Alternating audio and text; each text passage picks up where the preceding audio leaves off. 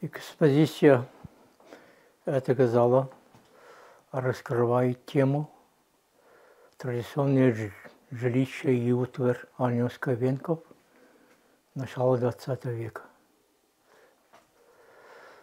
Основным жилищем, традиционным жилищем является переносной круглый плане конусообразный чум.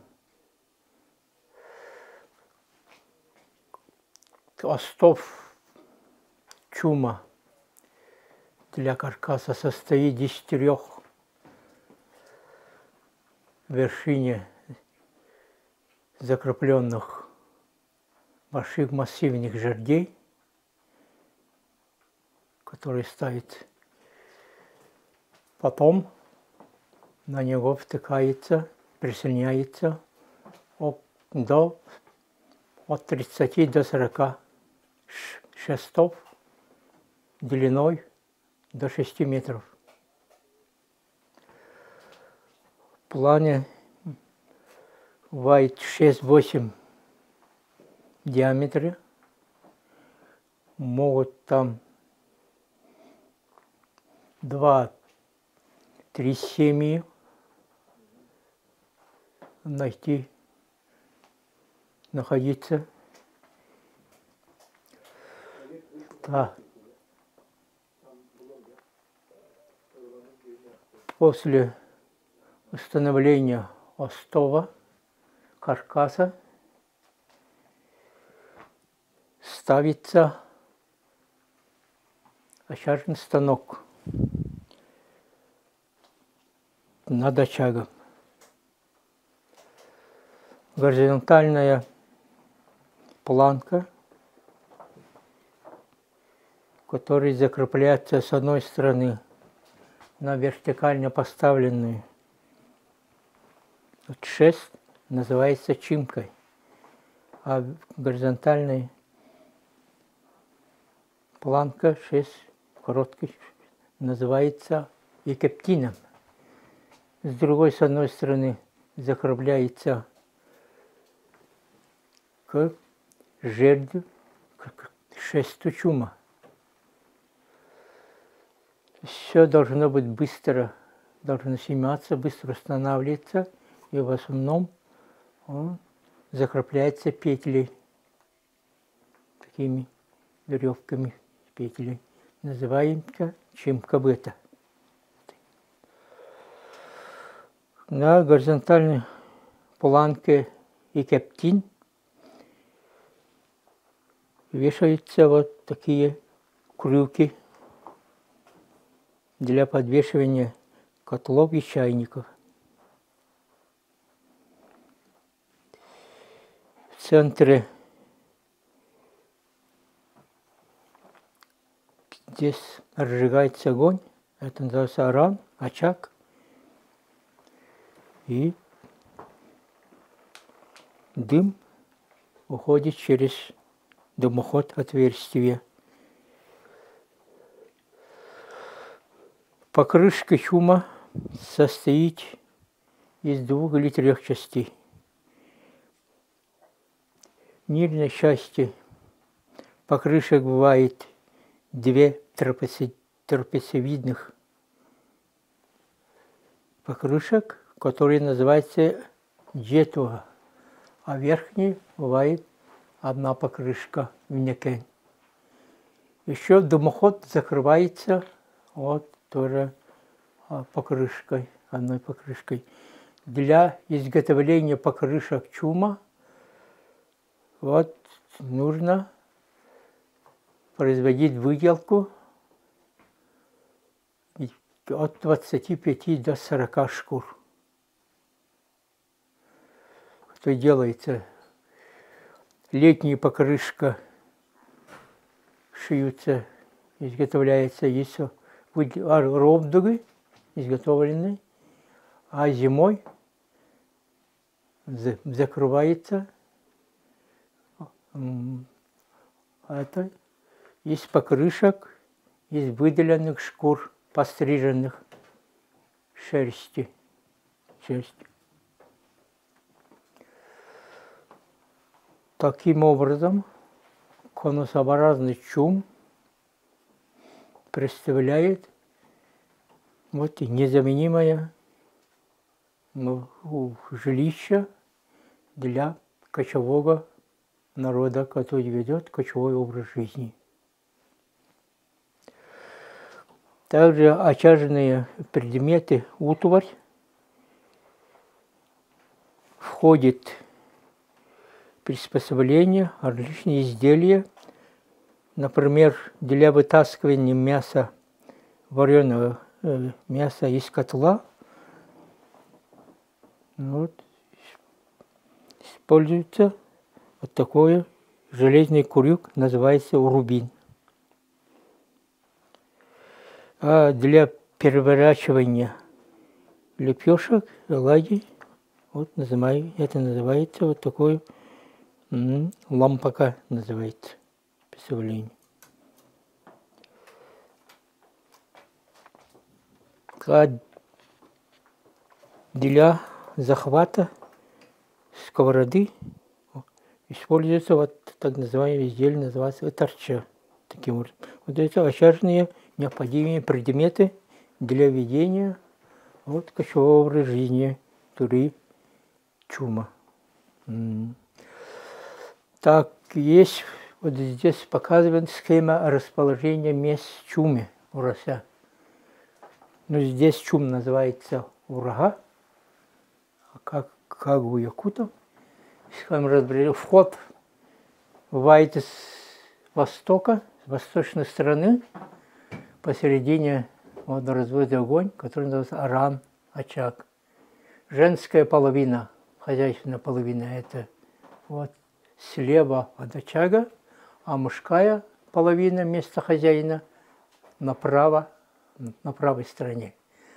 А гости, они располагаются, зайдя в чум, на почетное место, которое на Кеталрин, напротив входа за очагом. Это схема расположения, вот, который строго, вот, которая во все времена из деревьев, со старины, вот, вот, он руководствуется этими. Так, вот на этой фотографии, вот вечером вот собирается оленеводы угу, или охотники, которые после дневных забот, работы, вот только вечером они вот принимают вот такую пищу.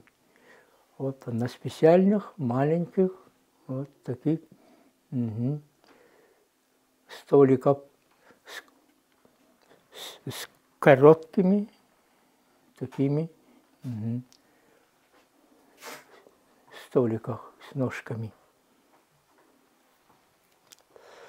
Утвер в основном в конце 19 начала 20 века была медной. В основном были большие котлы, которые делали, изготовляли якутские кузнецы и обменивали, продавали здесь на пушнину, на ромдуг или на рыбу, на мясо, оленину. Также покупали, они еще обменивали тоже путем обмена или продажи, они приобретали вот такие чайники. Вот, например, чайник с красной меди. Вот такие маленькие котелки, вот такие приспособления. Амутан, как называется это, вот такое медная чаша для доения, с ручкой для доения. Угу. Вот важенький для оленя. Также имеются вот такие медные тазы, которые для в основном изготовленная в мастерских или фабриках, фабричное производство. Вот большие сковорода, железная сковорода, которые для, угу, чтобы испечь то есть лепешку или оладьи. Богатые имели самовары тульские, они приобретали угу, такие тульские самовары, изготовленные вот, вот на фабриках Баташовых, Ляльных, Дегтяревых, которые имели очень престижное значение для владельца. Наряду с медной утварью или покупной фаянсовых посуд или самоваров в быту использовались и изделия из, из бересты и из дерева. Например, большие вот ложки сделанные из дерева, они называются икепче. А як по-якутски хамьяхт. А, также вот эта так называемая чаша, деревянная чаша, которая тоже была в ходу у ольновских венков.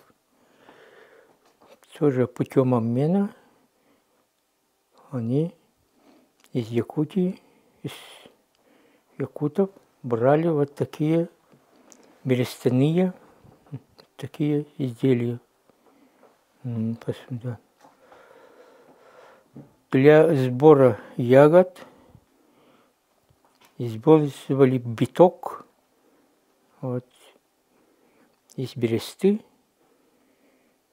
Голубика был называется.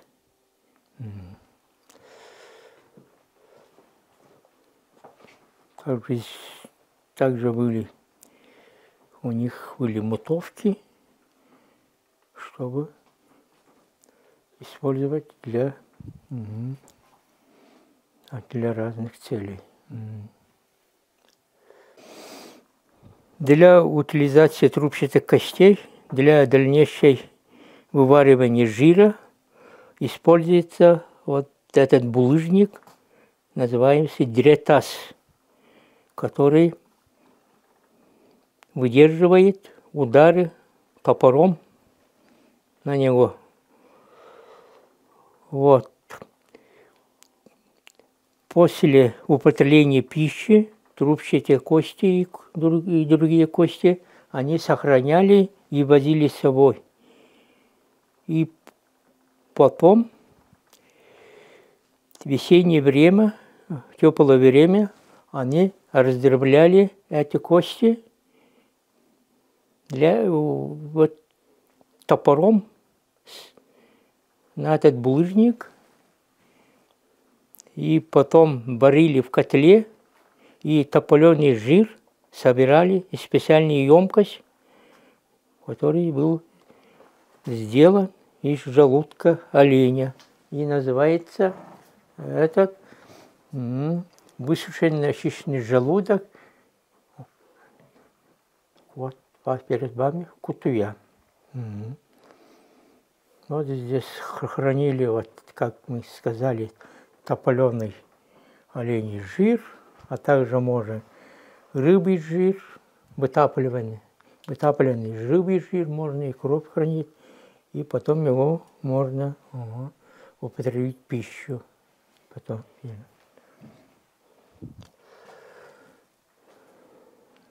Мой. А ты слева, да? А? Будь слева, да? Ага. А тоже.